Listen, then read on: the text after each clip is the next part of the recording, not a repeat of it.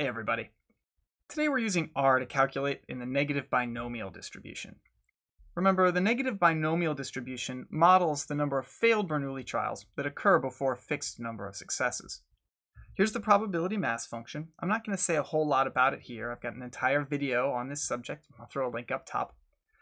All I, really, all I really want to say right now is just to remind you that the factor of p to the r comes from the fact that we need r successes, probability p each, and x failures, probability q each, and that there are x plus r minus 1 choose r minus 1 ways of arranging those successes and failures.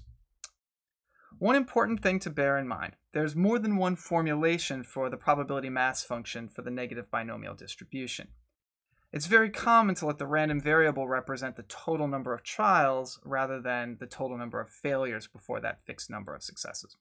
So you need to make sure that the problem you're actually trying to solve matches up in terms of the language with the usage that R is going to enforce. It's usually not such a big deal because the difference between the total number of trials and the total number of failures before that fixed number of successes is just R, the, the number of successes that you're going to need. There are four basic functions for computing in R when you're looking at the negative binomial distribution. The first is rnbinom, which is just your random number generator. It's going to generate the requested number of values with a, from a negative binomial distribution with the given parameters. R total successes and P the probability of success on any individual trial. For instance, rnbinom 10, comma 3, comma 0.5 generates 10 values where each one represents the number of failures before we get three successes, where the probability of success on each individual trial is 0.5. So here in the first simulation, we had zero failures. Then in the second, we had three failures. Then in the third simulation, four failures, all before three total successes in each run. Next is dnbinom. This is the probability mass function. So this is how you compute probabilities of, for specific values in a negative binomial distribution.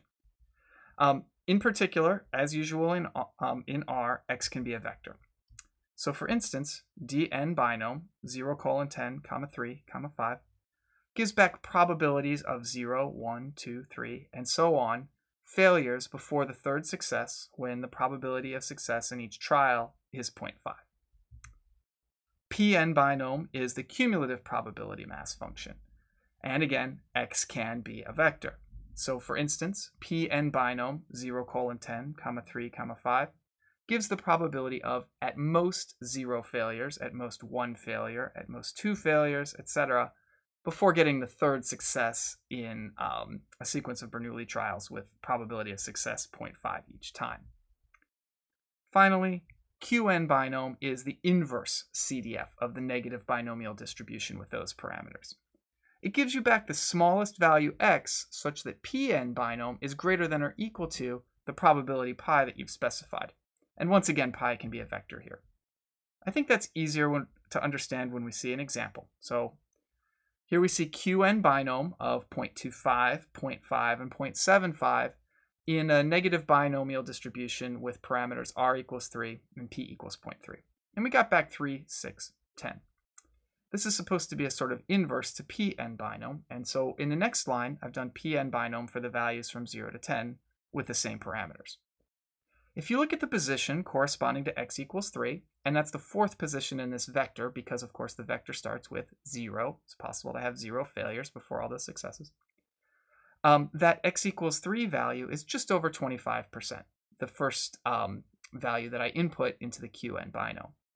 Similarly, the position in the output there corresponding to x equals 6 is just over 50%, and the one corresponding to x equals 10 is just over 75%.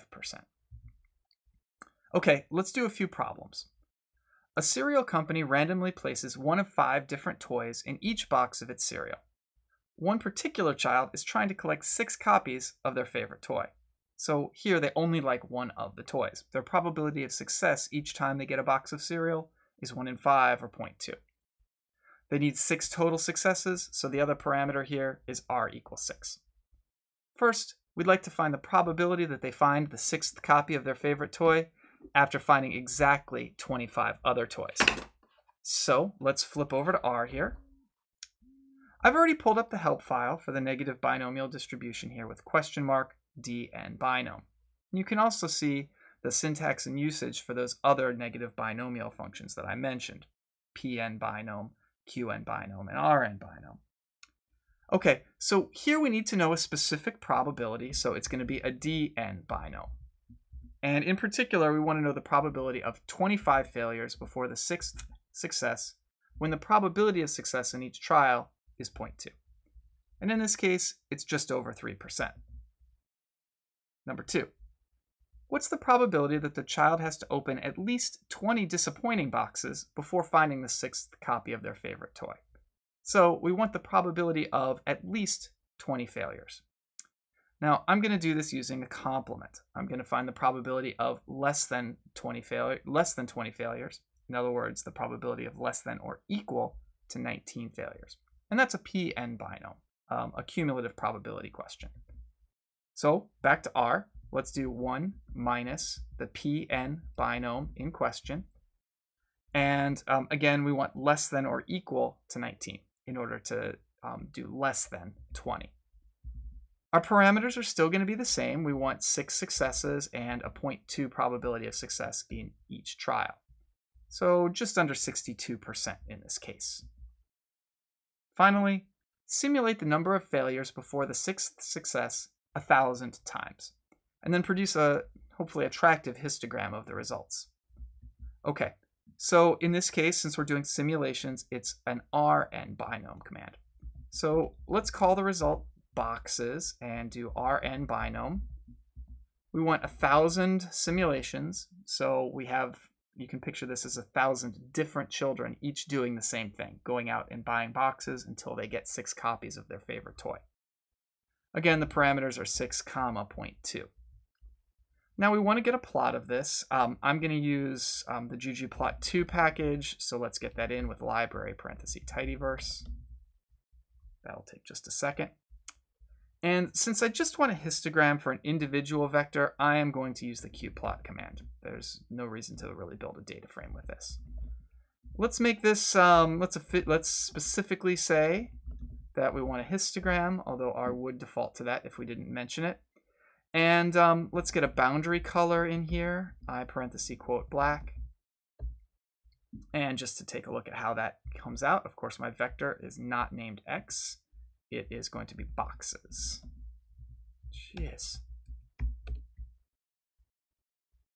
There we go. There's a histogram of those results of those thousand simulations. You can see, as you would expect from a negative binomial distribution, that it's got this slightly rightward skew to it.